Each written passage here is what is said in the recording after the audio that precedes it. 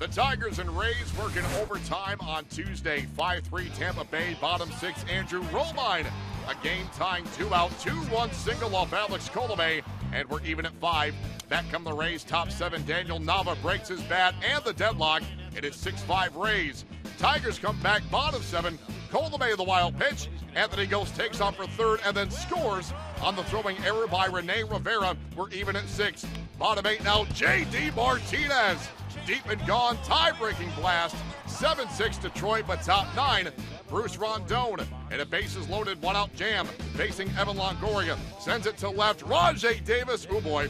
Sack fly in an E7. We're even at seven. But bottom 13, Davis atones.